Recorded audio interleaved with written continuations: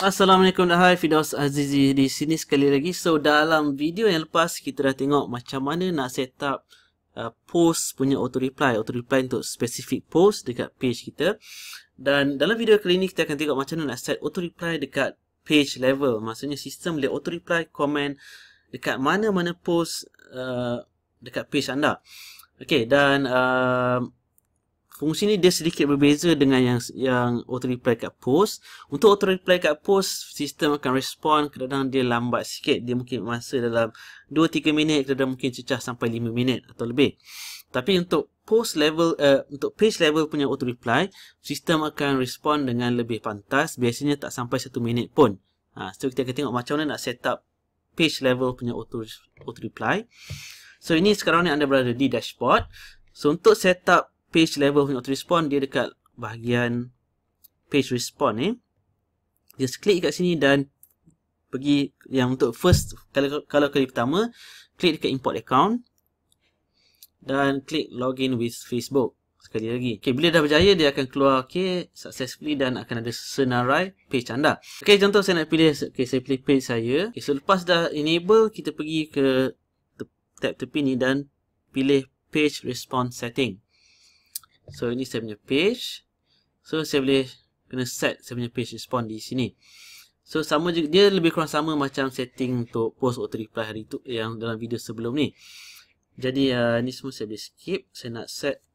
so ni sekali lagi kita boleh pilih yes untuk respond multiple times.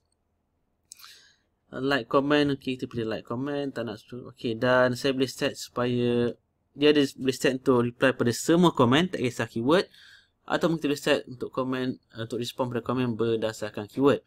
So untuk tujuan video ni saya just saya akan pilih based on keyword. So saya masukkan nama kempen dan saya letak keyword. So saya letak keyword contoh test 456.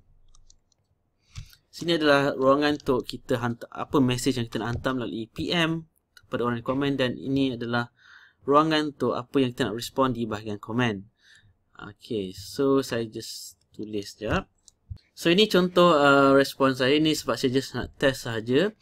So dekat private reply uh, saya contoh saya masukkan nama dia. Okey dan saya tak smiley sikit dan untuk komen saya tag orang tersebut, orang komen dan uh, saya letaklah smiley juga. Nak masukkan gambar dan video boleh kalau rasa nak. Dan bawah ni dia ada optional kalau macam orang tu komen tanpa apa yang bukan based on keyword ni, dia komen selain keyword, kita boleh reply komen tersebut dan hantar PM juga. So ini fungsi optional nak biar kosong boleh, nak letak pun boleh, tak ada masalah. Okay, so ini sekarang saya dah ni. Jadi bila dah siap, saya tekan butang save untuk submit. Dan okay, ni dah berjaya. Jadi jom kita test tengok. Okay, sekarang kita nak test tengok adakah page response ni berfungsi. So saya boleh saya akan try comment dekat mana-mana post menggunakan keyword yang saya dah set tadi. Okay, contohlah saya nak comment dekat post yang ni. So saya akan komen menggunakan account personal dan masukkan keyword. So fungsi page respond ni dia akan respond dekat mana-mana post dalam page tersebut berdasarkan keyword ataupun ikut apa uh, yang kita dah setting. So nampak? So sistem dah respond dalam masa tak sampai 1 minit pun terus dapat PM dan dia respond dekat sini. Dan kalau saya komen dekat post yang lain pun contoh So sistem akan respon juga dan uh, respon dia lebih pantas berbanding dengan post reply yang kita tengok dalam video sebelum ni nampak. Okay, so ini adalah cara untuk set up page respond. Ni.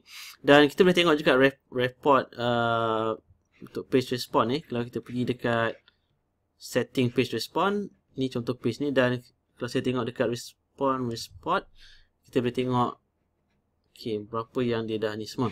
Dan kalau macam kita nak stop benda tu, kita nak stop kita punya page response, kita boleh tekan pause. Atau kita, kalau kita nak remove terus, kita boleh disable response. Ha, so, ikutlah kesesuaian kita. Okay, so itu saja untuk video kali ini tentang macam mana set up fungsi page response. So, uh, insyaAllah dalam video yang akan datang, saya akan kongsi pula macam mana nak uh, broadcast message pada orang yang dah pernah PM anda di page menggunakan sistem MLeads Pro. Okey, kita jumpa dalam video yang akan datang. Bye. Assalamualaikum dan bye.